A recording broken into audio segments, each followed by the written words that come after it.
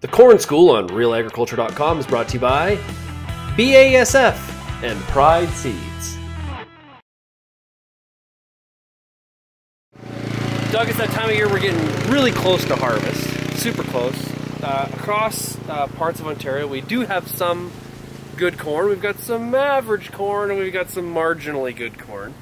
Um, guys want to estimate their yield. Mm -hmm. Let's walk through that process of trying to, as accurately as possible, guess our yield.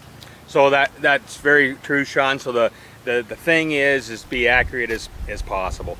And because of our rainfall and our sporadic rains this year, we uh, sometimes it varies a lot even in fields. So we want to do a really good representative sample of what we're looking at. So the, the key is not just to go into one area of the field and look at it, or the best area of the field. We always get drawn to the best area of the field take or a the walk, worst. or the worst. so take take a, a, walk through the field and get good representative samples. So measuring a yield is it's it's relatively simple, uh, but it, it is time consuming if you're going to do it the proper way. The first thing you want to do is you want to walk into the field and you want to you want to measure off one one thousandths of an acre. So uh, in this case, we have 30 inch rows, so one one thousandths of an acre is 17 and a half feet. So we'll measure off 17 and a half feet. Uh, you don't have to be perfectly accurate. You don't have to take that tape measure. Once you've done it a few times, you can pace off 17 and a half feet and We're get pretty close. We're general. estimating in general.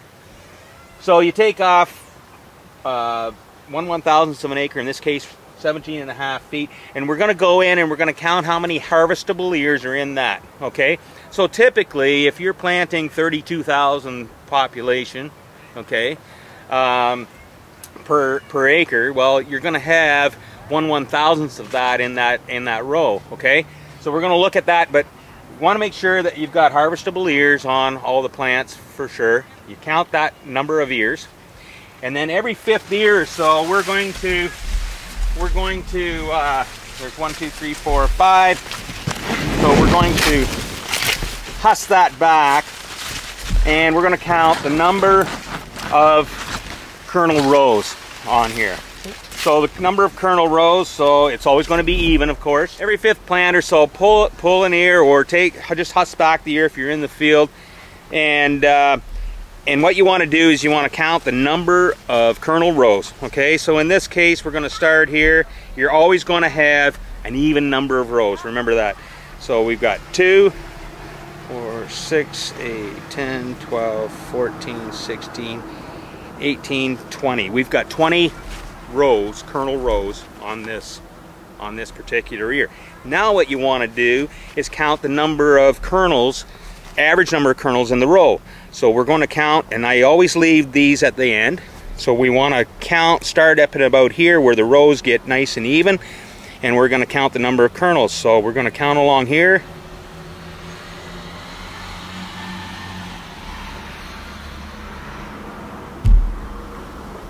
and I'm going to call this 30 long.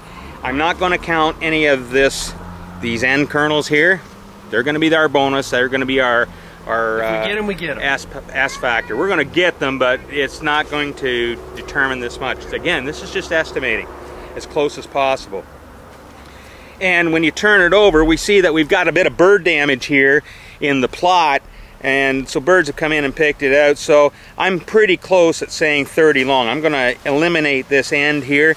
So we got 30 long by 20 so really what you want to do when you measure your yield is take the number of harvestable ears okay in one one thousandth of an acre. So say we've got 32 harvestable ears in there. Everything was good. And we're going to multiply that by 20 around and multiply that by 30 long and then you divide that by 90. That will give you your estimated bushels per acre yield. Now I always like to take 90% of that as, a, as an insurance factor because again, we're going to have some areas in the field that maybe not as high and so on. The key is to do a good representative walk in your field, get good representative samples. You're probably going to want to walk across in a diagonal pattern or a Z pattern average it out? I would say you need to do it a, uh, a couple of times in an acre, you know, and then and and when you go across the field, maybe you spread that out. If you're getting a pretty even field, you can spread that out. But I like to have, you know, take a pad with you or, uh, or something to mark it down, but I like to have 10 to 20 different looks at it in the field, and you can get pretty accurate.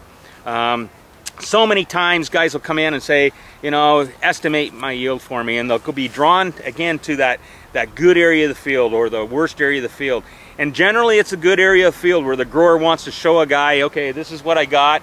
So he does the estimate and he comes up with 130 bushels per acre, okay?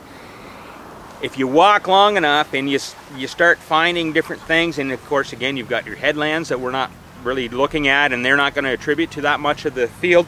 That's why we keep these off of the ends because that's going to give us a little bit of uh, a slip factor there.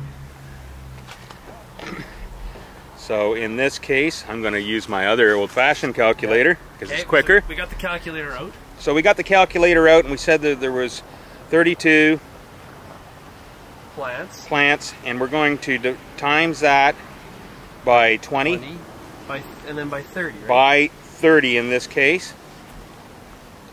And then we're going to divide that by 90 as our factor. And the reason we use 90 is there's 90,000 kernels in a bushel of corn, average. So we're going to use 90 as our factor. Cool. So that estimates at 213 bushels per acre, Hey now, we'll be Hey happy now. with that. right? So if we had every every ear at 32,000 of these ears and everything's chugging along, this should estimate out at 213 bushels per acre. I'm going to take though, we 90 shouldn't- We shouldn't just walk out of the field and with this one check though. We should be doing this. No, we times. we're going to do this. We're going to assume I've done this 20 times across a 100 acre field, and I've got a good representative sample, and this is my average. And this okay? doesn't mean that you should forward contract all the way up to 213 bushels. Absolutely not. So that's why I'm going to use 90% of that. So if we take 213 and we're going to go times 90% of that, that's 192. And so I'm I'm pretty comfortable that I've gone across this field, got good representative samples of my ears, and this is a this is good. I've recorded everything in my book. I've got 192 bushels per acre. Now, if you're going to look at marketing it, and your crop insurance average is 180, then you're going to want to market it to your crop insurance average. Don't market the whole thing. It just is a is a word that I I'm a firm believer that if you're crop insured to that and you're comfortable with that level, doing this estimate, we can we can go to our crop insurance uh, average and maybe slightly under that if you're comfortable doing that and uh, have a good market.